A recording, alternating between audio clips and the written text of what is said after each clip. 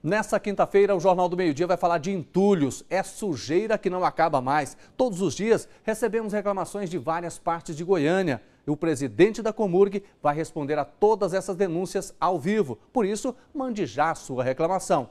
E pode faltar gás de cozinha em Goiânia. A maior distribuidora está com fornecimento comprometido. Por isso, tem depósito de gás que pode ficar sem o produto já nos próximos dias. Saiba por quê no Jornal do Meio Dia.